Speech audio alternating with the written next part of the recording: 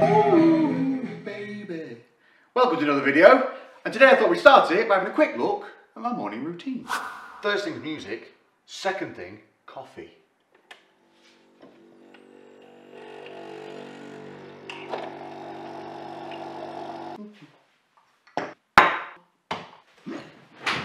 Ooh, shit! In the mornings now, if you follow me on Instagram, you will see that I have an entire morning playlist for you to wake up to. It includes three beginning songs to make your lovely, lovely coffee, which I'm going to show you how I make mine now. Then it goes into an Alan Watts featured meditation stage. Just 10 minutes of just centering yourself and giving you that time in the morning. Don't turn on the TV, get on my playlist. Link will be in the description for it. And just give yourself that morning wake up. So music, coffee, and then we start the day. My coffees though, is what a lot of you have been on about. What do I have? It's not complicated, it's not expensive, but it's bloody nice. All you need is a Nespresso Essenza machine, some L'OR coffee pods, and some double cream and some brown cane sugar. You take a half a teaspoon of the brown cane sugar and you drizzle it succulently over the creme of the coffee. Then stir anti-clockwise three times then clockwise three times, then randomly anti-clockwise and just once clockwise. Very important, darlings, very important. Lick the spoon mm, and put it back on the communal sugar pot. double cream. Now you want the double cream, it's fresh cream and this is pouring cream. Oh, Lex, it's full of fat. You're going to get really fat. No, right? You're going to use like a teaspoon of this stuff and it works out as like two grams of fat per coffee. That's nothing, even if you're on a low fat allowance. you're just a little bit of a cheeky little, ooh, yeah, that's it. And then once again, spoon, anti-clockwise three times, clockwise three times, random spin to the left, and then once clockwise just to slow it down. And that's your perfect blend, and trust me, hashtag trust Lex, half teaspoon cane sugar, espresso, tall espresso from Nespresso, and a little bit of double cream. Smack that on with my playlist, a little bit of Frank Sinatra, a little bit of rock, a little bit of stuff to get your feet moving in the morning. And I guarantee you will have a better day. Oh, what I also like to do in the morning is just give my willy a good shake and a twist.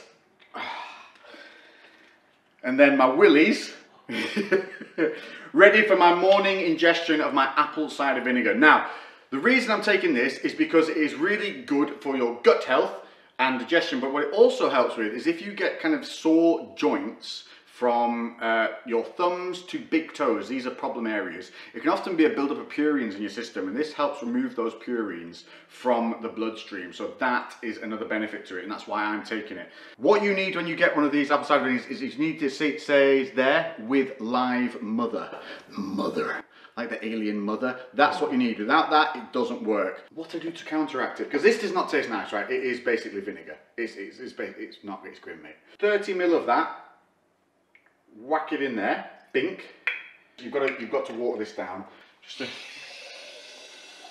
that'll do. Now what I found is, you can add a little bit of honey to this, which does work and stir it in. But because I've only got set honey, because I'm not forward thinking enough, I'm going to use my cherries and berries, sugar-free kind of thing, and just give it a little bit of bump. Now this isn't going to make it taste good, it's just going to make it palatable.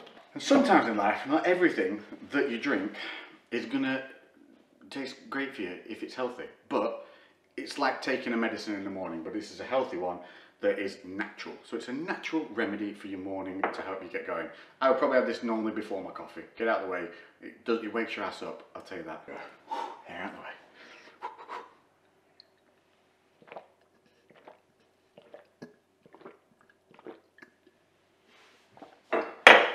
Ah, the other morning routine is the wonders of being with Gymshark.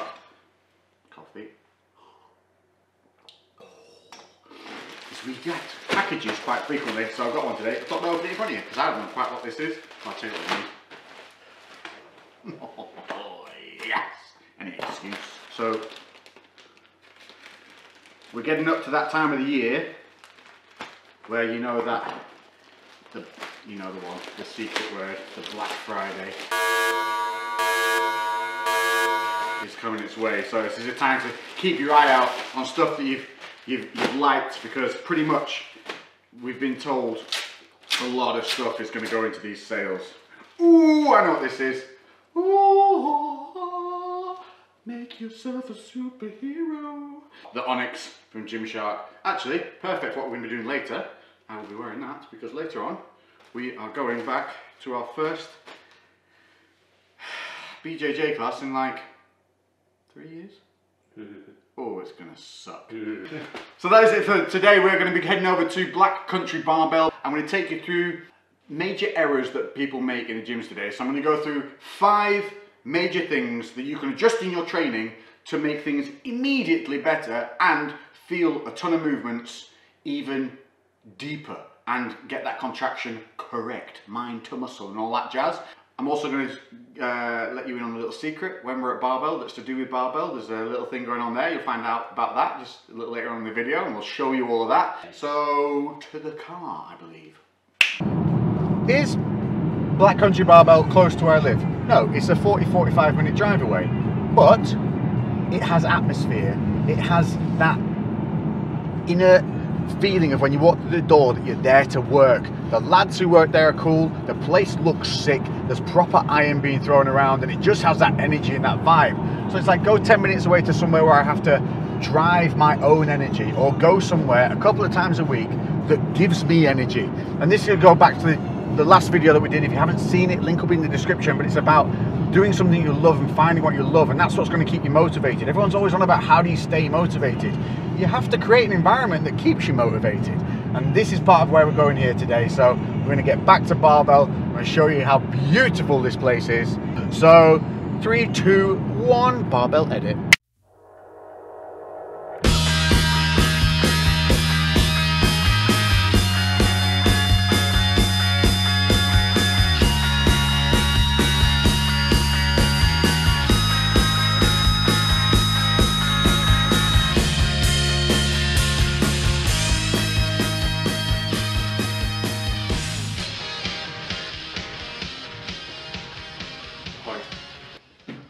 Welcome to Black Country Barbell. Good, everybody welcome Lou to the channel. So Lou owns the Black Country Barbell, the beautiful place that you just saw, and we have been here before.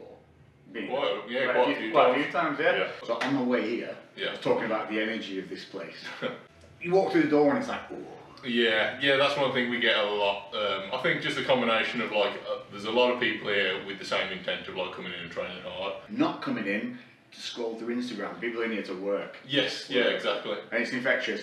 COVID's infectious. We don't want that infection. What we do want is the infectious energy of a gym that makes you want to get in and work. And to add to that, some more exciting news. Tons of you have been asking me to relaunch the podcast, and I promised it, and I promised it, and then I sat down, and then I sat down, and I didn't get back, back on. But not anymore. That's why I'm here. This is why Lou's here. We decided that why not? We, we bounce off each other just generally when we're here. I come down and train for an hour and talk for seven. Yeah, Literally. I don't know. I think you're being a bit generous with that. but the stuff we come up with is so it, it's so funny, and I leave here just feeling elated and just happy just with the nonsense we've talked about. And we thought, why not share the nonsense? We are both children, though. We are So, giant children, and why not put that on a camera and in people's ears? We are relaunching the Crewcast, but it's going to be me and Lou and guests every so often when we can get them in, Yep. and it will be every week, and we're going to start recording from next. Yes?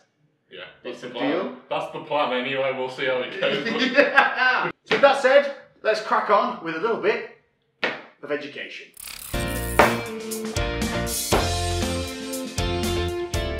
Class is in session. So we told you today I'm going to be going through some of the major points in the gym that you people, you people, that's accusing, isn't it? Some people, or a lot of people, do, and I'm not saying it's, it's done intentionally, but these are common problems that we see that maybe you're not picking up, but are definitely hindering your progress. Number one, we're going to be looking at symmetry of the body. This is hugely important. So many people in the gym get a little bit sidewinded by the mirrors to the left, mirrors to the right. You just want to be stuck in the middle with you. Badoosh! Keeping your head in a straight line down the middle, keeping it on center is hugely important. I'm going to take these off, they're giving me a bit of a headache. Because the body wants to go where the head goes. And in the same theory, if you're lifting and looking off to one side, I guarantee your body is going to start slowly twisting towards that side. It might not be a lot, but it's enough to start causing a difference from left to right in the way you're lifting, especially if you're on a bar, if you're doing deadlifts, if you're doing upright rows, anything like that, keep your head straight, pull evenly and focus on the lift, not your reflection. In line with the symmetry, get my notes. Machine position. This is one I guarantee a lot of you are not even aware of. When they position machines in the gym, if they are not perfectly in line with the wall in front of you, if they're slightly off, I guarantee you will lift to the nearest perpendicular wall to you. So you'll naturally twist off towards the wall. So make sure that when you set yourself up, you look at which way the bench or whatever it is you're sitting on is facing and you keep yourself within that alignment. That's just a sneaky little one, but I guarantee you'll notice it now when you go in the gym. So give that one a go. Final symmetry one, Happy feet. Happy feet. Whenever you're lifting, you want to make sure that your feet are parallel and even, especially on things like bench press. You'll notice that people will sit on the bench with one foot quite cocked off to one side. This now is not an even drive.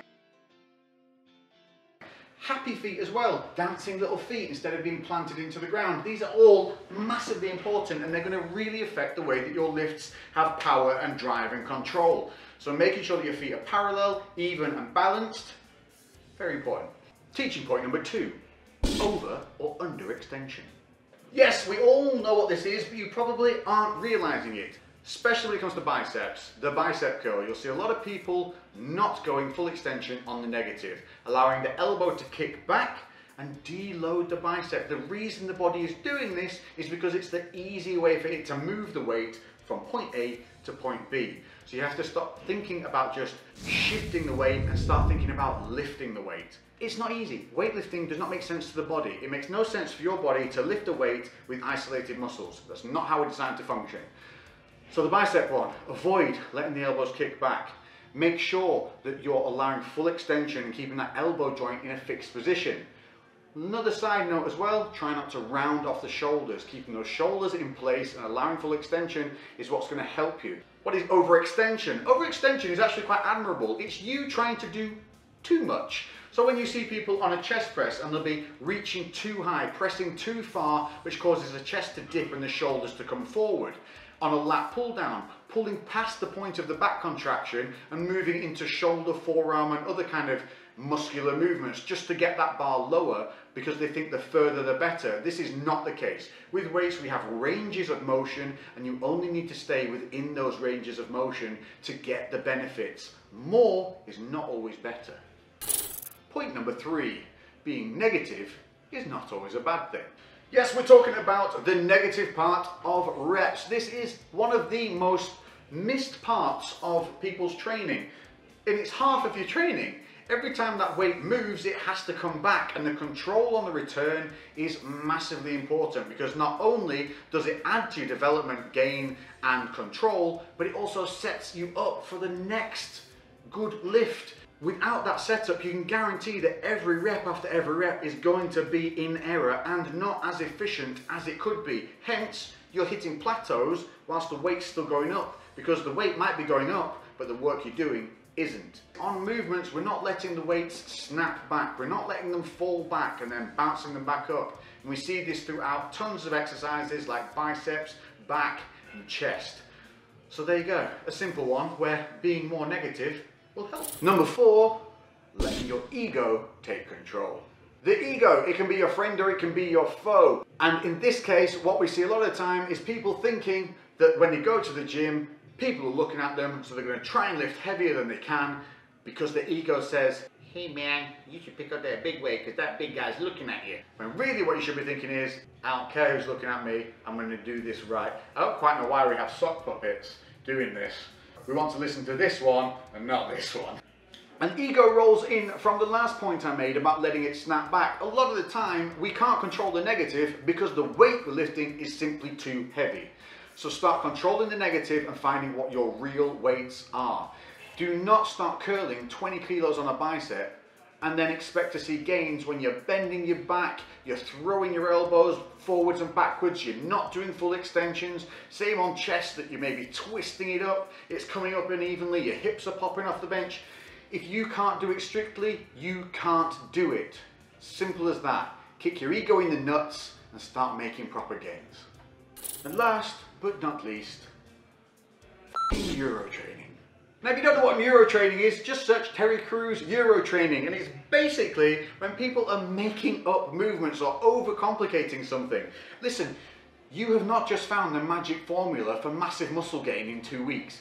You are not smarter than a hundred years of bodybuilding development. Do the basics and do them well. Stop trying to do daft, crazy movements that you think are working something they're not if it's not solid, if it's not basic, if it's not in the handbook of compound movements, ignore it. Start with the compounds, start with your bench press, start with your dumbbell press, squats, all the basic solid movements that are going to give you a strong foundation from which to work. Then once you develop that mind to muscle control, from there you can start adding in slight rotations and slight movements that are going to benefit the range of motion of the movement. Take a look at my last video if you want to look at how to develop your shoulder health during a chest workout. There's a lot of rotational movements in there that I talk about and one to really look at is called the Poliquin press. It's movements like this that are really going to help you still get that burn and that deep pump that you want from an exercise, but also in turn benefit your mobility and joint control. So there you go, hopefully that's some little tips and tricks that you can implement right now on go and feel the difference from your workouts. Maybe catch those little errors that have been causing you to plateau. If you've got any questions, as always, make sure to hit me up in the comments section below. I do get in there and I do answer your questions. Also, make sure to follow me on Instagram and hit me up in the DMs there. If you're feeling a little bit shitty during COVID, hit me up. I spend an hour every day going through messages on there and replying and hopefully sending a few positive vibes your way because you're always sending them my way. So thank you very much. For now, I'm going to go hit this workout and I hope to catch you in the next video. Back, back, back, back, back, back. Forgot to mention, if you have not seen the Crewcast already, there were a good few number of episodes put out. I am going to launch its very own channel, so that will be up by the time this video is running. So check out the Crewcast channel. The link will be in the description. It will have all the previous episodes in there with interviews with like David Laid, Matt Ogus, those are the Gymshark people, and just some other helpful, handy podcasts that we did on, on topics that you guys picked. So enjoy. Right, now I'm gonna go work out. Bugger off.